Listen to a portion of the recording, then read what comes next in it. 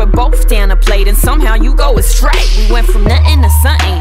Like in a loving, it was us against the world. And now we just fucking. It's like I loved you so much, and now I just hate you. Feeling stupid for all the time that I gave you.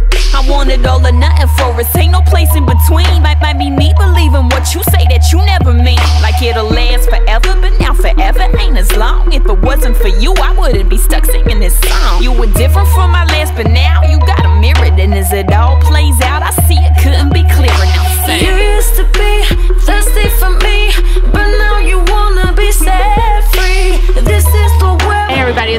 We're here at the Magic Trade Show, and I'm here with Cupcake Mafia. We just did a collection called the Dream Chaser Collection, so it's for all those ambitious women out there doing your own thing, trendset. Don't need no man to buy nothing.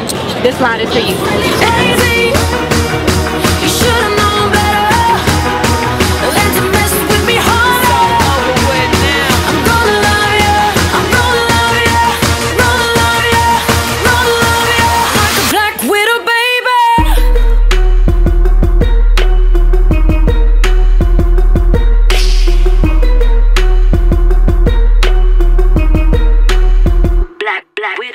few weeks ago, I did an, an empowerment brunch in Atlanta, and that is where I met Skittles, which is the owner of Cupcake Mafia.